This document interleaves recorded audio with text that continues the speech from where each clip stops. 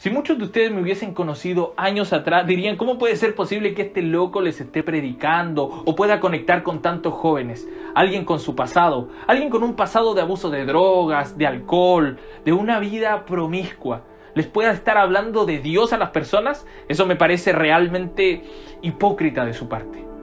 Y la verdad es que tienen razón.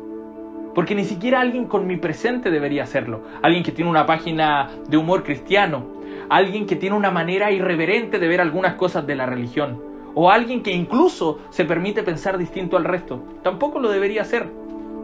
Es que soy una persona que tiene tantas fallas que no se le debería autorizar a hablar con ninguno de ustedes. Pero ese, ese es el Dios en el que creo. Un Dios que utiliza a personas imperfectas para mostrar su perfecta voluntad.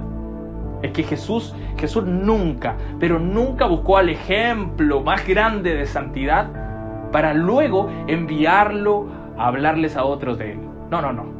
Jesús envió a pecadores que constantemente fallaban. La verdad es que a veces lo que Dios hace y a quien utiliza pareciera no tener mucho sentido, pero es este mismo Dios que quiere utilizarte a ti. Y no solamente tu fortaleza, no, no, no. También va a utilizar y a valerse de tus fracasos y de tus fallas.